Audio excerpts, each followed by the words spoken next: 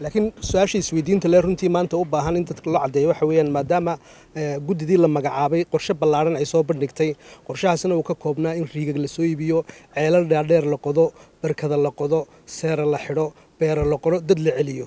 Dadku waxay isweydiinayaan inay runtii ogaadaan weeye sababta keentay iminka intan la sii daayo. Laba arrimood unbaa ugu wacan.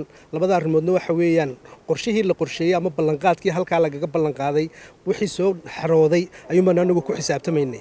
Sidaa culimmada ugu horreysayna ii sheegeen waxa weeye xaqiiqdan maadaama mas'uuliyadna la saaray accountable baanu inuu dadku inaanu u celino weeye wixii. Marka waxay noqonaysaa inaanu sheegno wixiina soo galay ciddii ay naga soo galeen. Si loo ogaado markaa waxqabadkaygu inuu ku salaysan yahay uun hadba wixiina soo galay. Markaa sidaas awgeed baa maanta loo sii daayey. Sagaalkaa kun ee beerood iyo labadaa seerood waxaana sii dedejiyey runtii xilli roobaadkii karanta oo bilaabmayey iyo dayrtiioo ku xigta oo labaduba ay khuseeyaan in beerana la helo daaqbaadkiina loo helo loo xidho. Markaa hadba wixii la hayay awooddu timaado iyo duruufuhu siday u kala horeeyaan ayay u kala horeynayaan laakiin ta ugu muhiimsani waxa weeyaan annaga waxaa nala gudboon xisaabtan inaanu soo celino wixii hadba na gaadha. Iminkana sidaa ay culimmadii iga horreysay sheegeen waxaa lagama maarmaan noqonaysa markaa in la sheego wixiina soo galay ciddii ay naga soo galeen iyo waxa lagu qabtay. Ciddii maqanee halkaa ka ballanqaadeen tiri ciddaasaan waxaasaanu bixinaynaana.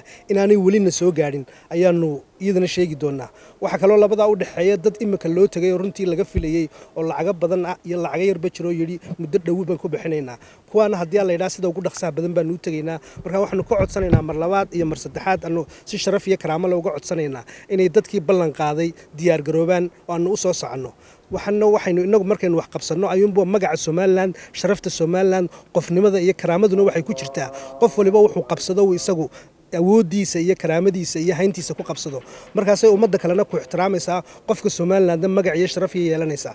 Markaasaynu ummad jirto magac iyo sharaaf iyo karaamale u noqonno. Waxaanu marlamaad codsanaynaa ballanqaadyadii la sameeyey in sida ugu dhaqsaha badan loo soo xereeyo waxaananu idin ogeysiinaynaa inaanu dhowaan xafiisyadiinna iyo guryihiinna idinku iman doonno annagoo idinka codsanayna inaad ballanqaadkii aad bixiseen soo fuliseen. Wasalaamu calaykum waraxmatullahi